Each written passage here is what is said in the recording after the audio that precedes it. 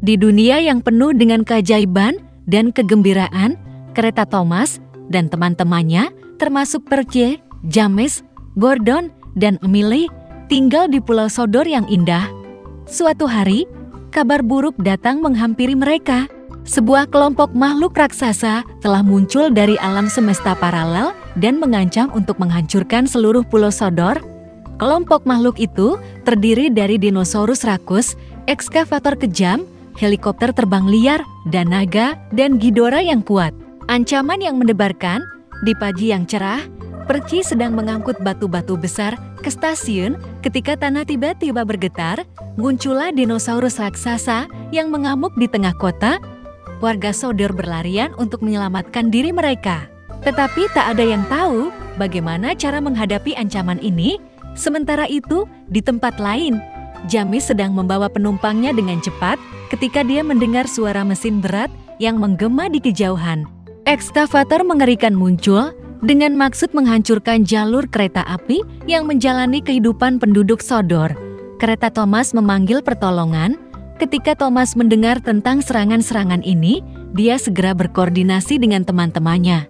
Dan Sir Tovamhat, pengawas jalur kereta api untuk merencanakan pertahanan, mereka menyadari bahwa untuk menghadapi musuh-musuh yang kuat ini, mereka perlu bantuan yang lebih besar. Thomas pun memutuskan untuk pergi mencari sekutu pertemuan dengan helikopter dan naga. Thomas mencari sekutu melalui hutan yang gelap dan rimbun ketika tiba-tiba dia bertemu dengan helikopter.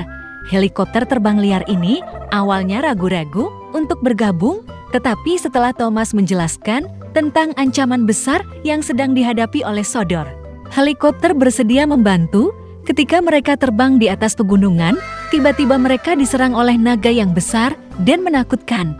Naga melepaskan hembusan api yang meluncur menuju Thomas dan helikopter.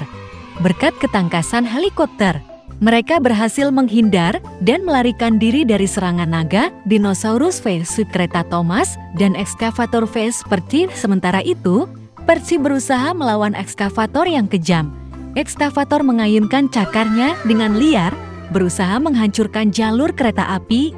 Namun, Percy cerdas dan gesit ia berhasil mengelabui ekskavator dan mengubah arahnya sehingga ekskavator tanpa sengaja menghancurkan reruntuhan bangunan terbengkalai.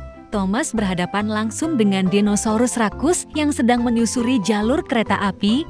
Dinosaurus menghantamkan ekornya yang besar ke arah Thomas, tapi Thomas sangat cepat berlari secepat mungkin untuk menghindari serangan tersebut. Kedatangan Gordon dan Emily serta melibatkan Ghidorah Ketika berita tentang invasi ini menyebar, Gordon dan Emily bergabung dengan Thomas dan teman-temannya.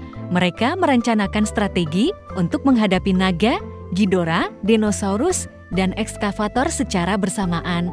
Saat kereta-kereta tersebut bersiap untuk pertarungan, tiba-tiba Ghidorah, monster tiga kepala, muncul dari langit. Ghidorah bersama-sama dengan naga yang mengamuk menciptakan badai dan kerusakan di seluruh Pulau Sodor, truk oleng, dan kemenangan akhir. Saat situasi semakin parah, tiba-tiba muncul seorang pemandu truk oleng yang legendaris dari Sodor. Dia dikenal karena keahliannya dalam mengemudi di jalanan yang sulit dan menyelesaikan tugas-tugas yang tampaknya mustahil.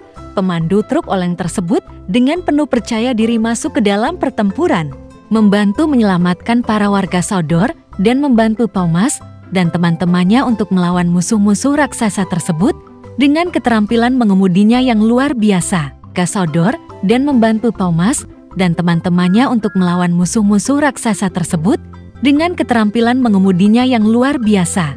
Truk oleng itu berhasil mengalihkan perhatian Ghidorah sementara Thomas dan teman-temannya menyerang dengan rencana rahasia.